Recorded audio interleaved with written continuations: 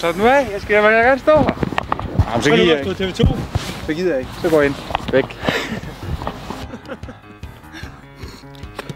Det bliver en kamp med, med to hold, der, der har masser af selvtillid, hvad der foregår.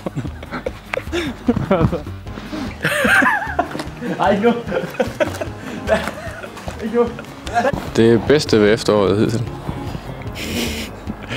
Jamen, det, det har været et skidt efterår, jo, hvor at, øh, jeg blev skadet og så videre, men øh, ser du det bedste? Ej, vi tager det lige forfra. Vi tager det lige forfra. Jeg går helt i nok. Patrick Bang, han ligner ham der fra Ninja Turtles. Hvad de hedder, de der to øh, mutanter der. Øhm... Hvad fanden havde jeg lige, Nico? Jeg havde den lige.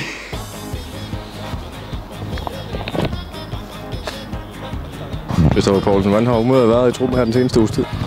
Det har været rigtig godt. Det var en rigtig vigtig og god sejr for os. Øh, at vinde på hjemmebane, det var noget, vi havde øh, set frem til. Og Marcel Rømer, der venter topkamp og lokalkamp mod Skive på søndag. Hvad bliver det for en udfordring, tror du?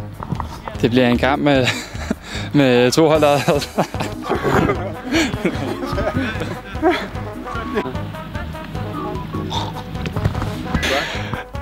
det er vi ikke. Ja, det er dig. Bedre.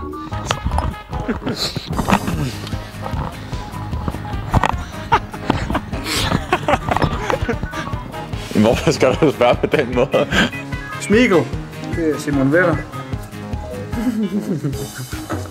er faktisk okay. Den er jo lige op. Skal jeg kigge ind i kameraet? Dit øh, personligt bedste øjeblik i sæsonen indtil videre? Øh, det var en tirsdag. Frøjs øh, frokostbord. Det var klasse. Høj klasse. Det er noget af det, som vi ser frem til, når, når folk der dukker op om morgenen og skal, skal ind i køkkenet. Så det må være klart. Den tirsdag, jeg tror, det var den... Ah, var det september? Kevin Mensa, du har ikke... Øh... Hallo, mand. Vi laver et interview her. Hold det kæft. At holdet? Nej, jeg kan slet ikke.